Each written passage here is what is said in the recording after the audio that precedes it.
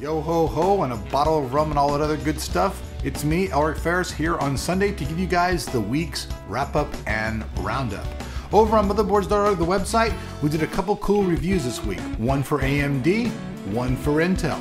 One of them is the MSI Z68 GD80. The other one is the BioStar 990FX board that you guys all know you'll be winning here on motherboards.org. Speaking of which, check out the description and the link below and this will show you all that good stuff. And also, before we go into the videos of this week, I want to give you guys some teasers of what will be going on next week. You guys all seen Building the Beast Part 1. A lot of you guys have left a lot of comments asking me to take a month like Linus and all this stuff. I don't even know why you guys like Linus comments. It's just ridiculous. I don't hate him. He doesn't hate me. We're just video channels. That said, yeah, we've built the thing. It's awesome.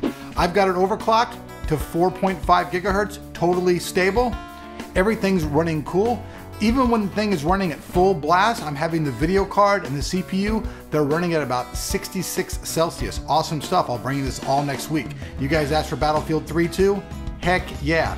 Ultra settings with a 3 gigabyte card, it's blasting through it at about 50 frames per second average. And then also tomorrow, you guys gotta check this out. A new hybrid drive from the people at OCZ. This is their new Revo drive. I've got the new one terabyte edition. It's like a PCI card thing. This thing's supposed to be faster than grease lightning. And lastly, before we end today's little soiree, I want to leave you guys with all of this week's videos. You guys can either click on them individually or you can click them all and see them all up above.